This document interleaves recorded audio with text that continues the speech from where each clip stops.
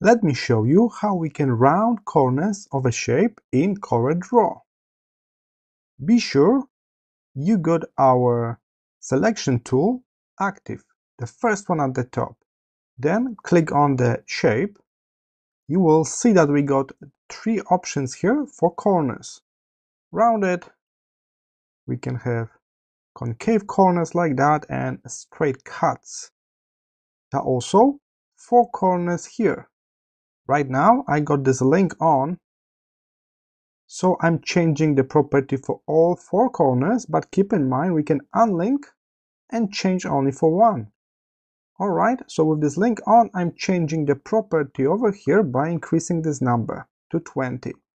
And you can see it already. I got rounded corners. Let's make it even larger, maybe 50.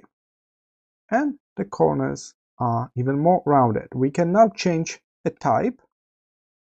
It's non-destructive, so we can always go back to here. If I unlink those corners, I can change this value only for one corner.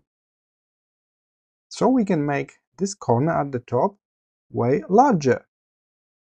Alright, so now we know how we can use this panel above to round corners. Alternatively, we can use a tool from the tool panel. So if you grab a second tool on the list here for editing nodes, we can grab this node that is exactly at the corner and make it round. And this time we got a bit more control because we're moving this by hand.